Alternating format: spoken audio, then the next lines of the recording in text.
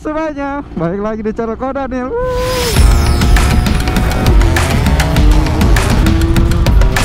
Motor apa namanya?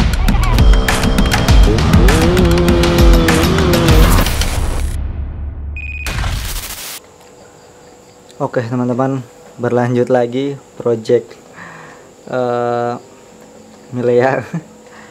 Jadi ini teman-teman, sebelum gua ganti blok baru ya, jadi ini coba gua benerin dulu. Ini blok yang OS 100 itu YP YP2 jadi uh, ini tuh gue bawa ke tukang bubut dan gimana caranya uh, liner ini jadi lebih mending lah. Susah sih kalau untuk center semuanya susah. Tapi seenggaknya lebih lebih lebih mendingan dari yang sebelumnya. Jadi di sini gue pakai piston 250 gila gede banget. Biasanya yang pakai Evan ZR tuh udah naik cepet ke atas aja udah udah kegedean gitu. Sedangkan gue udah 200 ke atas. Oke okay lah ini gue mau coba dulu pakai OS 250 dan uh, ini juga squeeze udah dirubah juga diameternya dirubah juga. Uh, ya ini udah hancur-hancuran sih. Ini udah hancur-hancuran nih. Ini bloknya udah hancur-hancuran. Jadi sekalian aja udah. Jadi nanti berla berlanjut ke test ride ya. Ini gue mau pasang dulu.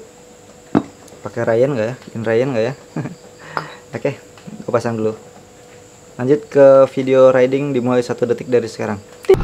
Oke okay, sekarang gue udah berada di motor dan saatnya untuk test ride ya. Ini adalah blok seher terbesar yang pernah gue pakai sih kayaknya. Sekarang ini pakai OS 250 be, gede sekali ya. Diameter 54 lebih lah 54,5 apa ya. Jadi ya semoga aja ya penyakitnya itu hilang karena uh, bloknya udah sedikit dilurusin nggak nggak lurus-lurus banget ya. Nggak nggak begitu center banget tapi seenggaknya lebih jauh lebih baik dari sebelumnya gitu teman-teman. Jadi di sini settingan yang gue pakai adalah uh, mulai dari main jet ya. Main jet sekarang ini gue pakai yang 135 terus pilotnya gue pakai 225 terus jarum scape standar. Uh, posisi klipnya di tengah standar juga. Udah gitu apalagi ya? Um, udah sih angin ya angin satu putaran. Karena tadi gue coba tes di setengah putaran tuh di bawahnya nahan gitu nggak kering-kering. Jadi gue pakai satu putaran terus gear ya gear gue pakai 1436 masih sama sama video-video sebelumnya. Udah sih itu aja ya. Uh, sama ini kalau kalian lihat di sini dari tadi udah ada holder. Di sini gue mau naro HP nanti ya supaya untuk jadi ini ya. Uh, GPS gue mau naro GPS di sini. Kita lihat nanti top speednya berapa. Uh, kalau mati ya matinya itu di uh, kecepatan berapa gitu teman-teman. Jadi buat data aja sih.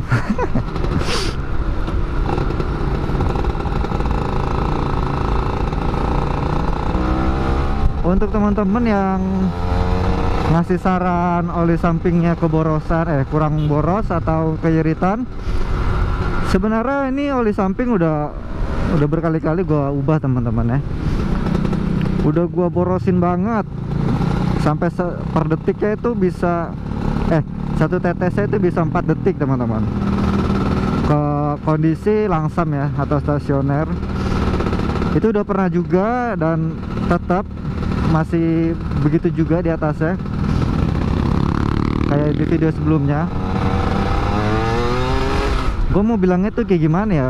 Dibilang nge-gym juga bukan ya kata Bang Andri juga. Jadi itu nggak berat teman-teman. Begitu mati tuh ya enteng masih enteng. Nggak kayak nge-gym pada umumnya gitu. Kalau gym pada umumnya kan ya sehernya macet. Harus nunggu beberapa saat dulu untuk pendinginan gitu dan pasti di bawahnya itu berat. Nah ini tuh enggak.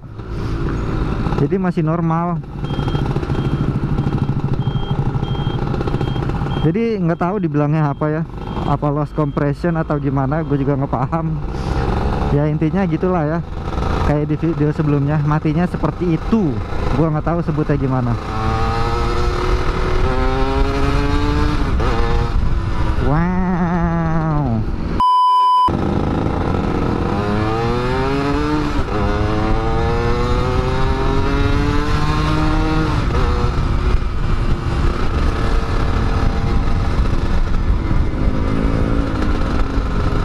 Woi ada Aerox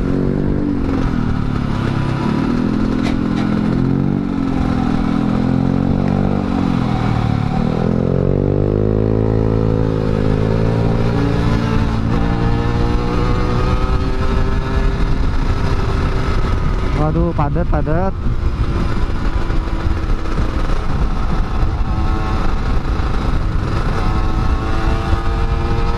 Ini gigi tiga ya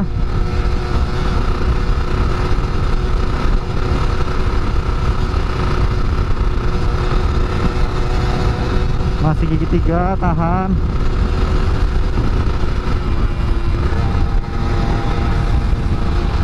Oke ini dia treknya waduh. Sama dari gigi tiga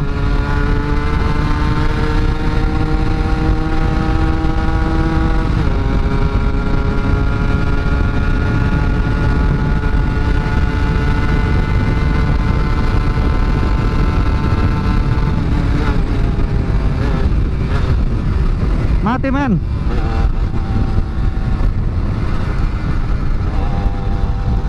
gila loh itu kenapa ya? Nggak nge-gym men ini nggak nge-gym tuh? Masih normal? Masih normal kayak cuma di atas itu tersendat gitu teman-teman. Wah ini binatang. Masih normal tuh. Ini masih enteng. Ini masih enteng tapi di atasnya tuh tersendat teman-teman tuh. Hmm apanya ya?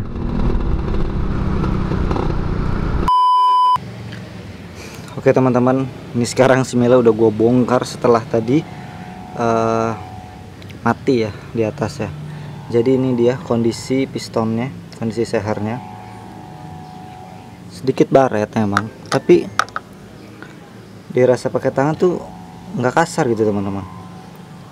Ini emang sedikit baret tuh ya. Ada agak sedikit baret. Cuman nggak parah gitu. Padahal tadi tuh nggak nggak sempat gua uh, matiin motornya jadi tetap jalan terus. Ini kondisinya kayak gini. Um, mungkin ini akan gue modif ya entah gue taruh bolongnya titik dua di sini atau di sini. Pokoknya uh, gue mau sedikit modif pistonnya supaya oli itu nyampe ke sini teman-teman. Ini di tadi tuh parah sih. Ngebut pas ngebut tuh matinya tiba-tiba kayak kehabisan bensin tapi baretnya nggak seberapa dipakai tangan gini masih halus A few moments later. Oke teman-teman, jadi ini dia pistonnya gue modif. Ada empat lubang di sini kayak Daytona ya kan. Nggak tahu ukurannya berapa, lebih besar atau lebih kecil. Tapi ya beginilah hasilnya. Ini di, adanya di bagian atas, lurusan dari pin ini ya. Pin dari ini nih klip apa ring piston pinnya. Jadi lurus gitu. Oke, tinggal dipasang. Oke teman-teman ini adalah bongkaran Milea kedua setelah quarter ke 250 Oke jadi eh, di yang sebelumnya itu gue udah test ride dan masih ngejim ya masih mati di atasnya dan kondisi pistonnya juga udah sedikit baret atas bawah. Dan ini bongkaran kedua. Di video yang sama langsung aja lah gue bongkar. Jadi pas habis gue test ride mati langsung gue bongkar. Gue mengecek kondisi pistonnya apakah makin baret atau enggak. Jadi uh, di sini ini pistonnya. Sebentar ya gue sedikit zoom fokusin dulu. Oke. Oke, jadi di sini baretnya nggak begitu parah, masih sama dari yang sebelumnya, teman-teman. Nah, masih sama. Emang yang pas gue tes rate yang kedua kalinya ini itu nggak gue record. Karena uh, gue posisinya lagi mau ngejemput ya. Jadi nggak gue record dan ada uh, video dari ini ya, Ulysses-nya di sini.